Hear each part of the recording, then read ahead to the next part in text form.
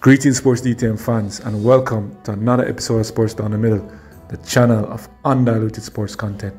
Leon Bailey scored a wonderful goal against Manchester United and pretty much had an excellent game, except the Jamaican international Leon Bailey had a scare with his encounter against Lisandro Martinez. Lisandro Martinez from Argentina, the South American player, you know, is very aggressive and bustling, elbowed Leon Bailey in the chest area.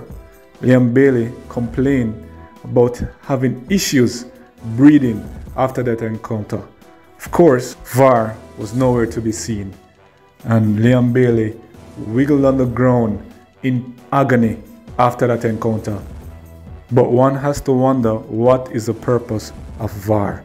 After that encounter, I mean, that is surely a red card offense.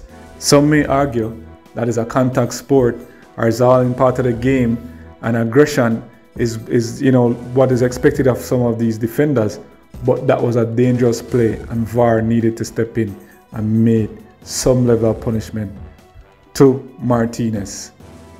Luckily, Leon's Bailey team, Aston Villa, dominated and beat Manchester United three goals to one.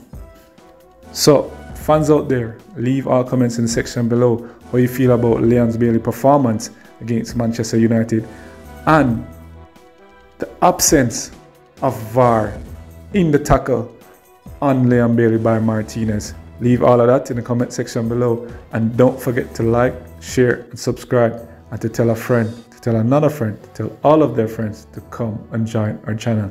This has been another episode of Sports Down the Middle. Be blessed.